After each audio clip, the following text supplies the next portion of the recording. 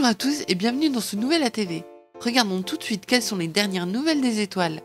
Sandy et Chris nous font un bref rappel des fonctionnalités implémentées dans la 3.2, avec une info que vous n'avez peut-être pas vu passer, qui est la nouvelle fonctionnalité de ciblage à partir des tourelles.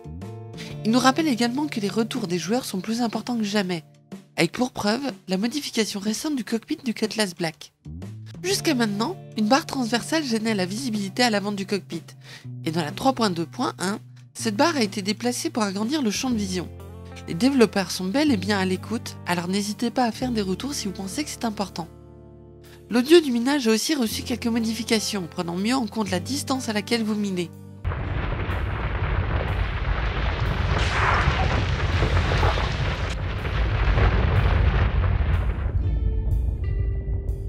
Le déploiement du bras a aussi subi quelques modifications.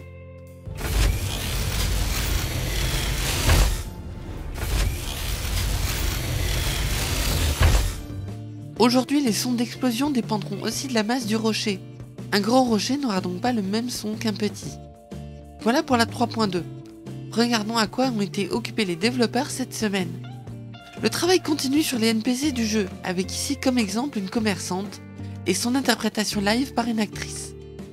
Le travail sur le 600i a porté ses fruits, puisque l'équipe se chargeant du 890 Jump a progressé de manière spectaculaire, comme vous pouvez le voir ici sur cette première phase de la white box.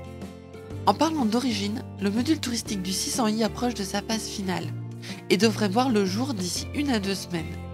Vous aurez droit dans ce module à 4 chambres supplémentaires ainsi qu'à des plus grands espaces de relaxation.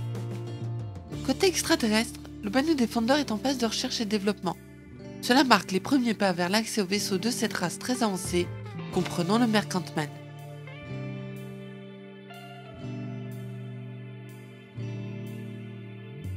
Passons maintenant à la 3.3 et à Hearthstone, où les hangars approchent de leur phase finale et où nous avons droit à quelques premiers visuels d'habitation.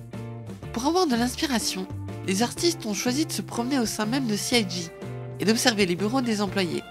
Car sur les bureaux, on peut trouver tout un tas d'objets qui ne sont pas forcément très importants, mais qui apportent un rendu final réaliste à l'ensemble, et qui donnent cette impression de vivant à une pièce.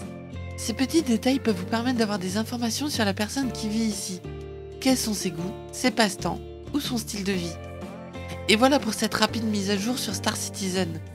Chris nous rappelle qu'ils sont en train d'explorer de nouveaux concepts de vidéos et qu'il faudra faire preuve d'un peu de patience avant de les voir arriver. Cette vidéo est maintenant terminée, merci d'avoir regardé. Merci vos tipeurs pour leur soutien et n'hésitez pas à partager cette vidéo. Vous pouvez nous retrouver sur les réseaux sociaux et moi je vous dis bisous des étoiles et à bientôt. Around the.